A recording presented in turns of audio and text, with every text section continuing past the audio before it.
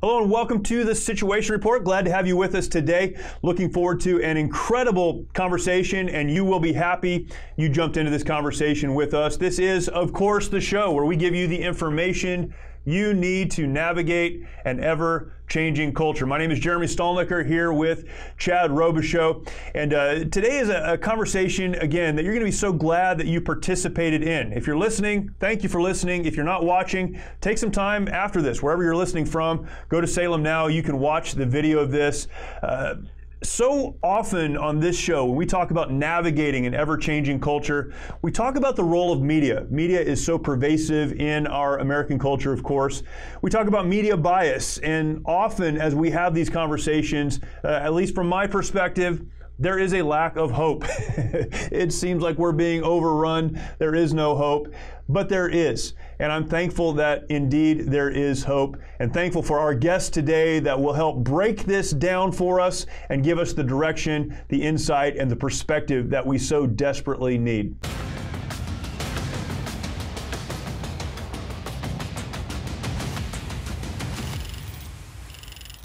Our guest today is someone who needs very little introduction for our audience. We have the pleasure today of having with us Dr. Sebastian Gorka. Uh, Dr. Gorka, thank you so much for your time. Really, really honored to have you on. Guys, don't mention it. It's a distinct honor for me to be on with you guys. Thank you for everything you'll do. You've done for this nation and everything you're doing uh, right now, especially for our, our brothers and sisters in Christ. So thank you guys. Just one thing. Uh, I got to tell you, it would be much sexier if the show was called Sit Rep. Just a little, little real comment, okay? Well, we refer to it as sit rep, but not everyone knows what that is. You'd be amazed how many times I've said sit rep, and people are like, "What in the world is that? What does that even mean, sit rep?" So we have to go back and explain it. I get it. That's what we call it, though. Yeah, for sure. You're absolutely right, though, and uh, we always go for the sexier title. There's no question about that. Uh, Dr. Gorka, you are the former deputy assistant for strategy to the president of the United States, Donald Trump. Uh, he. Um, the host of America First, a nationally syndicated radio show on Salem Radio Network, which is where we are as well, and the Gorka Reality Check on Newsmax TV. You are a New York Times best-selling author. Your current book, The War for America's Soul, is something that we'll talk about later on in the show. Uh, you have such a diverse background. Uh, you've been involved in so many different areas of uh, policy, administration, and now in the media. Uh, and, and a lot of folks know who you are. Certainly on this network, a lot of people are very familiar with you. For those that may not know your story or your journey, uh, could you just give us a thumbnail of that? Talk to us about where you came from and, and really specifically how you ended up in, in this arena where you're talking about conservative ideals and philosophies and principles and uh, really pushing these things forward for us. Yeah, absolutely. So, in a nutshell, my parents um, suffered as children under Nazi occupation. Uh, they grew up, they were born in Hungary. Then, after the end of World War II, uh, they suffered the communist takeover of, of their country. My father, a, a, a devout Catholic, decided to resist in college, he created a secret underground group of uh, patriots, of students to resist the communist takeover. He was betrayed by one of the greatest traitors of uh, the Cold War, Kim Philby. He was arrested, tortured, and imprisoned, got a life sentence at the age of 20 in a communist uh, prison. Uh, six years later, after two years in solitary, two years down a prison coal mine, and then two years in a political prison, he was liberated by the amazing freedom fighters of the 1956 uh, revolution in Hungary. And with the 17 year old daughter of a fellow prison mate, they escaped across the minefields into Austria, became real refugees, ended up in the UK, were married, and those were my parents. I was wow. born and raised in the UK to exiles from communist Hungary. Um, I joined the British uh, Reserves, the uh, British Territorial Army. I was in an MI unit. My MOS was an interrogator did that for a few years. And then the wall fell. I spoke Hungarian. I'd served in a NATO army. So I decided to move to the land of my parents' birth. And I spent five years in the Hungarian Defense Ministry helping that post communist country get back into the West and join NATO. Lived there for 15 years, met my American wife in Europe, started working for the DoD out of Germany. There's a beautiful place called the Marshall Center in Garmisch-Partenkirchen where we train our FAOs. I started uh, teaching and uh, for an amazing guy, a, mar- a Marine. He, we've lost him too, too, too soon. His name was Nick Pratt. He was a legend in the, uh, the Marine Corps and also in the paramilitaries in the CIA. He was in Afghanistan in the 80s. I was on his faculty teaching counterterrorism and IW um, after 9 11 to our allies across the globe. That opened some doors for me. And then in 2008, my American wife and I said, it's time to go to the center of the universe. I applied for a job at West Point, at VMI, and at NDU. And I was given a professorship at National Defense University, came across the pond, and I taught counterterrorism for five years in, as a DoD civilian. Then, two and a half years at the Marine Corps University, I was the uh, chair for military theory. And I'd written a book. My first book was Defeating Jihad hmm. on how to understand Al Qaeda, how to understand groups like ISIS. Somebody called Donald Trump saw the book. I got a phone call summer of 2015 from a guy called Corey Lewandowski. Had no idea who he was. Corey said, "Hey, Mr. Trump needs somebody to advise him on national security issues for the next debate. Do you want to come meet him?" So I took a plane to New York, met this amazing guy, sat across a table for him for about 40 minutes. Halfway through the meeting, classic Trump stops the conversation dead, looks at Corey and says, I like this guy. Let's hire him. So, um, I became an advisor to, to candidate Trump, and then uh, we won the election, and I ended up as strategist to the president, deputy assistant to the president in the White House, uh, mostly national security stuff, CT, defeat ISIS, stuff like that. Yeah, I've always just been fascinated by your by your story and what you do, and and I was super privileged to be on your show just recently. And uh, so, with such a diverse background, and you know, in news and media, uh, at some point you had to make a deliberate decision to focus on conservative content. Yeah. Uh, so, what what was your motivation that said this is what I have to do? I take all my experience in life and just focus on focus on conservative content in America. Yeah, I, I, didn't even mention you know the media. So I started doing Fox picked me up after the Paris attacks, and I started doing hits on Fox. Then, after I left the administration, Salem, the amazing Phil Boyce, who discovered everybody, Hannity, Levin, you name it. I met him at a, at a party in uh, DC and he said, Hey, have you ever thought about doing radio? And I thought, Are you serious? I mean, I've been, I've been listening to talk radio since I was about eight. And then you, you have the accent. I mean, you sound, your accent just makes you sound smart. So, like, you got, you got to work, you got to work on the accent. The, the accent helps.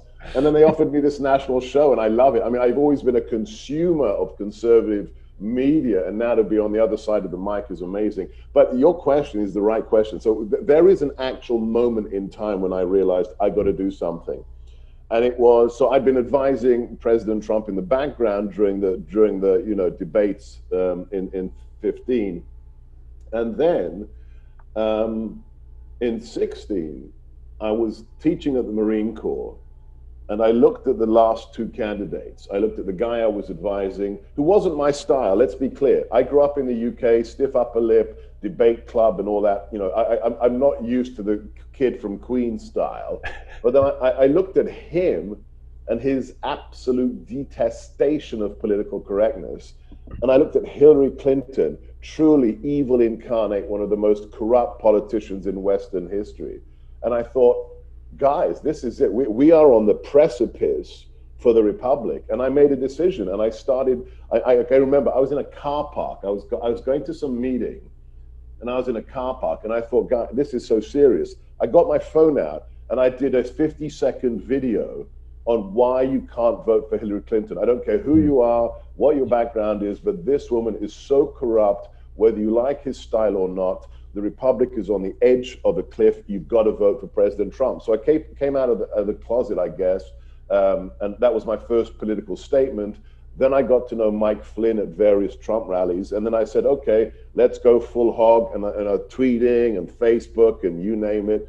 And, and that's when I realized the only part of society we own, guys, the only part of society conservatives own is talk radio, is, is our pushing back on the censored social media. So it's it's time to get serious. So that's why I took that decision when I took it. When you were talking about Phil Boyce discovering these incredible personalities, you forgot to mention the host of the Situation Report. So uh, I'll just throw that out there. He's he's also he's also discovered us, and we're pretty close to the top of the list. But anyhow, continuing with with our me- conversation. Me, you guys, you guys aren't media personalities. You're serious men. There is a difference. When when you are saving thousands of our allies, our partners, our brothers in Christ from Afghanistan, I would not insult you to call you media personalities. It's like it's like when I was a professor for years and years and years. If anybody called me an academic, I, I told them I resent that remark. I am not an academic. Thank you. I agree with you. I don't see myself as a media as a media person. I just like to communicate the things that we're involved in. Hey, dude, the, the, the, the, the pins on your lapel tell everyone you're not a media person. I wanted to take a minute to let our audience know about the work that we do through an incredible veterans nonprofit called the Mighty Oaks Foundation. Many of our nation's warriors struggle with the hardships of military service and reintegration back into civilian life. Often they leave broken homes in their aftermath and comprise one of the most at risk groups for suicide, with over 20 veterans who take their lives every single day. Mighty Oaks tackles this critical issue with our faith based peer to peer resiliency and recovery programs offered at no cost to our honored servicemen and women at beautiful ranches across the United States. Mighty Oaks has one of the highest success rates of any program available anywhere. Visit mightyoaksprograms.org to learn more about how you can make a direct impact in the lives of our servicemen and women to help them find a new life purpose through hope in Christ. Again, that's mightyoaksprograms.org. Witnessing the transformation that these men and women go through is absolutely incredible. There are no words to describe seeing warriors restored to the lives they were created to live, changing their legacies for eternity. Your support is needed now more than ever and will ensure that our programs are here for our warriors who are in desperate need. Again, the website is mightyoaksprograms.org. When we uh, when we do talk about media, and uh, you know, it is such an important aspect of American culture, I, I- culture around the world, I'm sure, but certainly American culture. Uh, often people will say something like this: "We need people to report the news. We need reporters to report the news. We don't need their bias. Yeah. And conservative media has a built in bias, uh, left media has a built in bias as well. Do you see that as being in conflict with what we call news? Or is that built in bias something that's necessary or something that is separate from just news reporting? Well, let's let's be realistic. It doesn't matter what country you're in. At the moment, this wasn't the case 60 years ago. Uh, 60 years ago, there was a, multiplicity of political identities in newsrooms. But today, in the 21st century, i- you can look at the voting stats. 93% of, of journalists are registered Democrats or vote Democrat. Right. There are some journalists, real honorable people like John Solomon and others, who say, I do not vote. I am a journalist. My job is to cover the news. Therefore, I'm not even going to vote. That that is like you know, there's like six of them left in America, right? You know, Sarah Carter, John Solomon, Greg Jarrett. Um, so so the culture of media is left wing, like the culture until recently, until everything went woke. The culture of business was conservative. You want Right. to be an entrepreneur, you want to risk, you want to build something. That's usually a conservative thing. If you want to be a school teacher or a journalist, it's kind of uh, a default setting. But here's the issue what we have in America is not bias that's uh, obvious. It's it's the fact that the New York Times is a mouthpiece of the Democrat Party, but they say that they're independent. Right. They say that they are unbiased. Right. You know, I, I don't hide the fact that I'm a conservative. Every, you tu- tune into my radio show within 30, 30 nanoseconds, you'll know what I believe because I tell you I'm a Right. conservative. Right. I grew up under Maggie Thatcher. Ronald Reagan is a hero for me. I don't pretend to be unbiased and then spin it. Right. But except for MSNBC, when you know Rachel Maddow says, "Yeah, I'm a crazy leftist," these people say that they are actually independent. The Washington Post, CNN, the New York Times say we're journalists when they're pumping out propaganda. I mean, when Jim Acosta, that pathetic man who's even dis, you know ashamed of his Hispanic heritage, because hmm. Jim, your name is Abilio. You weren't born Jim. Your birth certificate says Abilio, so I'm not sure why he's ashamed of his Hispanic heritage. When he is given a show after being the senior White House correspondent, he's given a show now on CNN, and he attacks the most popular podcaster in the world, Joe Rogan by saying he's taking horse dewormer. Right. H- hang on a second. I took ivermectin. Ivermectin is a human drug. Like many human drugs, is also used for animals. Guess what? Doxycycline, the most popular antibiotic, is used for, for dogs and cats. Hmm. Do we call doxycycline a cat medicine? Of course not. But when CNN attacks Joe Rogan, because Joe Rogan's got literally 200 times the audience of CNN, right? When they say, hey, we're unbiased journalists and he's taking horse dewormer, they're not journalists. I mean, this is what everybody has to understand. These, when I'm in the White House, and for political reasons, I get it. I'm attacked every single day. But when they attack my wife, when they attack my 18 year old son using words like traitor in a headline, mm. you don't get to call yourself a journalist. You're a hack. You're a mouthpiece. You're a propagandist. So the issue isn't bias in media, it's those who are biased who pretend that they're not biased. Right. Very good. One of the the questions that was in our last election cycle that was highlighted was what's what is the role of media in the United States? And so if you had to define the role of a uh, Christian media in the United States, you know, not not just conservative media, but Christian media, we're in Salem right now. What, what would that be? Would well, be the... f- first things first. Uh, I think it was Adams or, or, or Madison. America America only functions. The constitutional republic of America only functions if the people in America have Christian values. You don't have to be a Christian, okay? We have separation of church and state, but the people who founded this nation understand that truth is real, beauty is real, truth exists outside of human beings. And it comes from the fact that we are made in the image of our Creator. So, first things first, um, the role of the media is to cleave to the truth and to uncover corruption. That's its job, whether from the right or the left. And don't get me wrong, I'm no fa- I'm, i may have worked in a, a, Republican White House, but I'm no fan of the GOP. I, I said it when I was in the White House. I've said it since I've left the White House. Donald Trump won the presidency despite the GOP, not mm. thanks to the GOP. So, you know, the job should be, I mean, the fifth estate's job, a, a, a, vibrant republic should have a functioning media that roots out corruption and talks about it, whoever's in, in, in, in, in power, but not to lie about Russian collusion for four years and allow the former uh, director of the CIA to call the president a Russian asset and a traitor on cable television. I mean, that, that's not the media. That is literally, you know, North Korean style propaganda. Now, what's the right role of Christian media? It's the same as what's the role of Christians. And this is the one thing I've come to realize in the last 18 months in America under COVID, under the China virus. And it saddens me as somebody who chose this nation, wasn't blessed to be born here, but chose this nation as, as a legal immigrant. Where's the courage gone? I mean, ne- never, never in the history of medicine have we quarantined healthy people Right. We, have never done that. You quarantine sick people.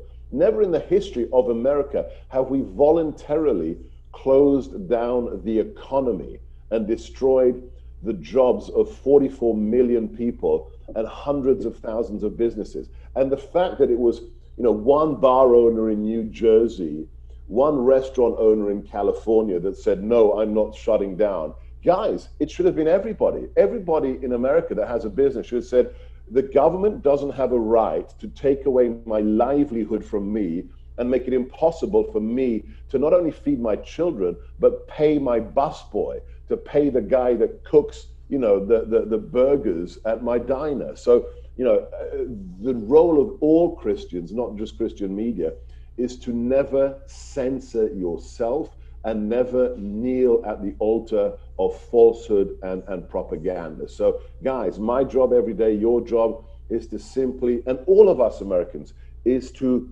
propagate the truth that we know is real and connected to our Creator.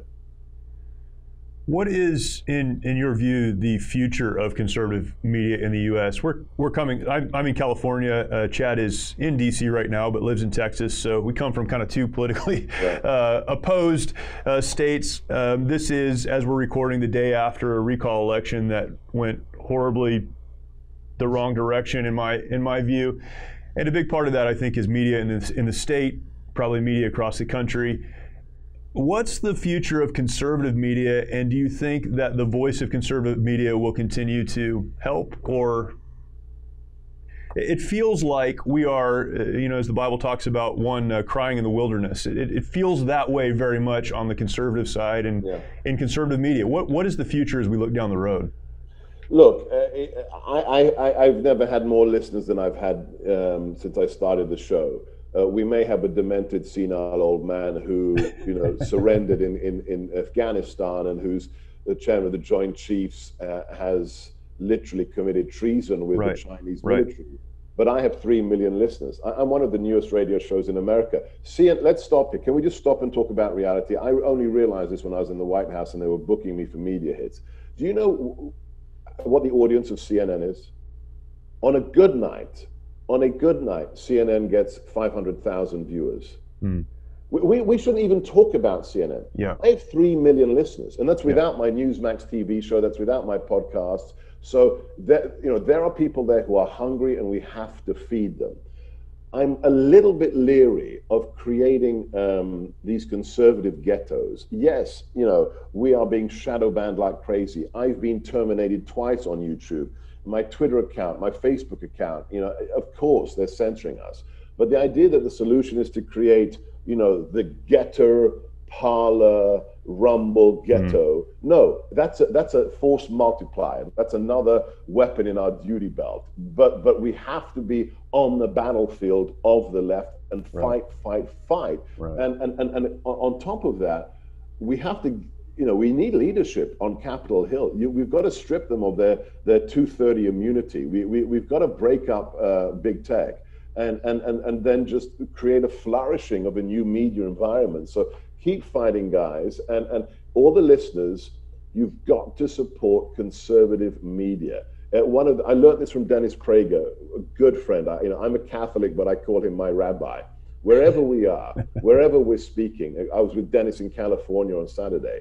He always says, we're in front of 1,400 people in LA. He says, if you want the truth, if you want to listen to my show, to Seb's show, you've got to support the businesses that make it possible. We don't get half a billion dollars from the taxpayer like NPR does. Right. We are free enterprise. So if you want the truth, you got um, you got to buy Mike Lindell's pillow. You, have got to buy Relief Factor. You, you, you've got to support those that make our shows possible because that's what free enterprise and what freedom is all about. So I'm not worried because look, we will. We've already won. We, we won, you know, two thousand years ago on on Golgotha. Right. Right. Our Lord and Savior took his took our sins upon himself. We've already won. So, mm. guys, chill, okay? But we have to fight here for the truth, and we will be victorious. Why? 73 million Americans voted for Donald Trump, and my old boss, I guarantee you right now, he's coming back in 2024. Yeah, he's pretty much all but said it. Yeah, I, I, got, a, I got a funny story for you uh, with talk about shadow banning and censoring. Yesterday, um, my counterpart in Save Our Allies, uh, Sarah Verardo, uh, had a one-on-one meeting with uh, General Milley uh, about, you know, obviously we, you know, we know how we feel about General Milley, but to continue doing what we're doing, we have to work with the military. So we had this uh, meeting with him, and I had to I, I had to post one of the things was hey, we had a meeting with the Joint Chiefs, and uh, it, and so it was actually a positive towards him. I wasn't I wasn't uh, credit him or anything. We did, we had a meeting with him. Right. And Twitter would not let that four times. They just delete the post every time because they're assuming I'm saying something negative. Wow. how about this? How, how I was about, actually throwing him a bone. I mean, how about this? This is look. Let, let me let me give you my personal example. So I'm a huge gun guy. I, I have two serious diseases. I can't go past the bookstore without buying a book, and I can't go past the gun store without buying a gun. And I like to I like to post about my guns, and I got an amazing uh, AR pistol from Springfield, and I did a little video of me pulling it out of the bag, assembling it, and, and I posted it on Instagram. As soon as I post, this is, this is me next to my '66 Mustang taking out an AR pistol. That's that's it. I, that's it. Just hey, this is cool, and this is how it works. As soon as I posted it, Facebook and Instagram put a COVID 19 misinformation um, filter on my post. I said, I didn't mention the disease. I'm not talking about ivermectin. It's me. It's my Mustang somehow a, th- a threat to, to, to, America's health. So, and, and when, when people see that, they go, I mean, the comments, all the comments were less about the gun and they're saying, ha ha, look at Mark Zuckerberg. He's afraid of Seb's Mustang. So, you know, th- this is how we win. People see that and they laugh. And as a child of those who escaped communist dictatorship, who suffered under fascist dictatorship, let me tell you this. They only censor you when you're speaking the truth. Mm. And the fact that they're censoring us means that, in fact, they are weak. If you are strong, if your arguments are strong, if you are truly popular and you don't have to steal elections, guess what? You're not afraid of us and you don't have to censor us. So, guys, revel in it. Push back and revel in the censorship because it means you're over the target. Dr. Sebastian Gorka, please tell us where uh, folks can follow you, both your radio show, your television yeah. show, and tell us a little bit more about your book and where we can pick that up as well. Yeah, so my website where you can see everything is sebgorka.com. That's S E B G O R K A, sebgorka.com. The radio show is, you know, like you guys, I'm on Salem, 3 to 6 Eastern every single day. 300 stations across the country. We live stream on Rumble, so you can watch the video of the show, rumble.com slash Seb Gorka. Uh, I'm on Twitter, Instagram, Facebook, you name it. Um, and the book that you can get at, at, at my store, sebgorkastore.com, the latest one is The War for America's Soul. And it's really about the challenges we face, what it's going to take to win, and how you, every single one of your viewers and listeners, can be part of making us the shining city on the hill again. So sebgorka.com uh, and sebgorkastore.com. And I want to thank all of you. Please, guys, support the Nazarene Fund, support the Blessings Project, uh, save our allies. These guys are doing amazing work, and God bless you. Another incredible conversation, so many wonderful takeaways. I want to give you a few today, and this will be your situation report. First of all, as we began, we heard Dr. Gorka's story. Uh, I don't know how many of you are familiar with his story, but an incredible story. It really helps us to understand why he views the world the way that he does. Uh, he talked about that moment where he realized that he needed to stand against one candidate and for another. Uh, when he really decided that he would begin to communicate conservative values and ideals in a much more public way, as he talked about making his first videos sitting in his car, uh, this for me is a lesson.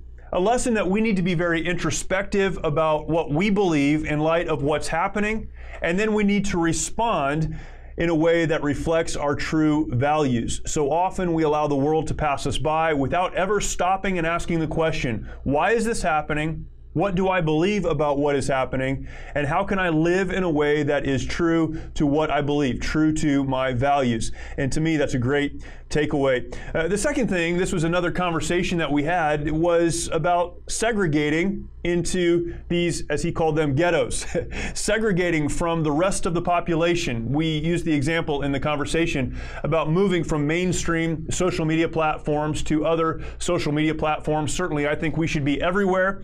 But if we take ourselves out of the mainstream conversation, we lose our voice. We begin speaking to others who believe exactly what we believe, and in doing so, we lose our influence. We need to stay where we can have the most influence over the most folks, which might mean fighting back against shadow banning, fighting back against deplatforming and demonetizing, but we need to fight back, and we can only do that if we're in the fight. Great point. And then finally, and I, I love this, there's so much hope. uh, there's hope when we look at even the media numbers. Conservative media is growing while left leaning media is diminishing. It seems because of how it's propped up that it is front and center, but really more and more and more Americans are hungry for truth. And as Sebastian said, we need therefore to give them the truth. And to me, there's tremendous hope in that. Uh, that's your situation report for today. Many other points we could pull out, of course. Please go and listen to Sebastian Gorka's radio show, watch his television show, pick up his new book. You'll be blessed in the process. Thank you for joining me this week. Look forward to talking to you next.